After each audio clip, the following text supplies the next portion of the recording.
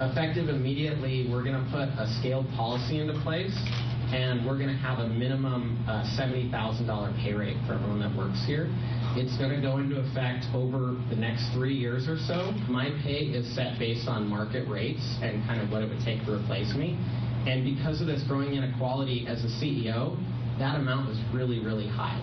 I make, uh, you know, crazy, I, my compensation is really high. And so I'm actually taking my salary down to the minimum salary as well until our profit goes back up to where it is before we made this policy change.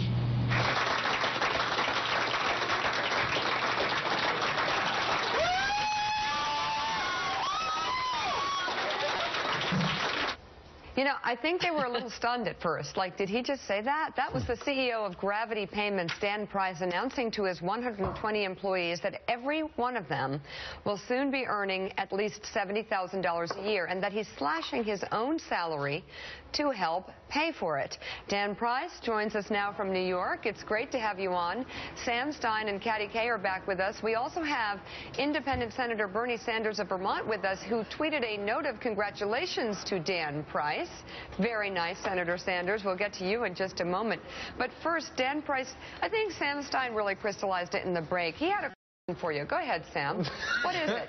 It's what you were thinking. Say what you were no, thinking. No, I don't say that. All right. All right, Go Dan, ahead, are you Sam. crazy? Go ahead. Are you I crazy? can take it. Are you crazy? no, no, it's very kind of you to do this to your employees.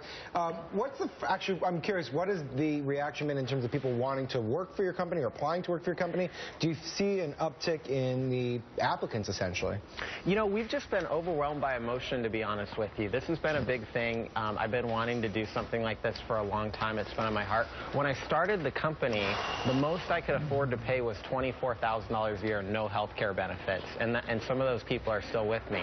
So I've been used to kind of feeling guilty and wishing I could do better, wishing I could be part of the solution to this inequality problem.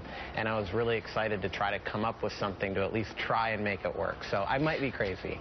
You, you might be. You just might be. Do you think this will uh, increase productivity, the quality of the product? Uh, that you, I mean, what is it that drove this beyond inequality? And also, because I would do, I I always talk about this being a great, I would never want to run a company if the people who worked for me didn't live very well or yeah. didn't live, you know, in a way that was appropriate. And people would probably say back to me, Dan Price, you're a terrible manager.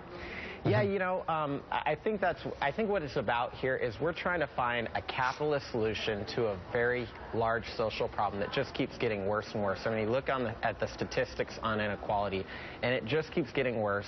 And in my own city of Seattle, it's getting less and less affordable for somebody to kind of make ends meet.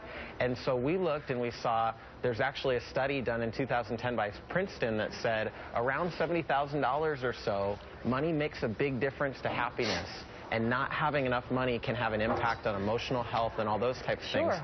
And in my mind, when you actually solve that, people can just focus on their work. So I'm not looking for, you know, a carrot or a stick, but what I'm looking for is allowing people to unleash their passion and continue to serve our clients and not be distracted by money.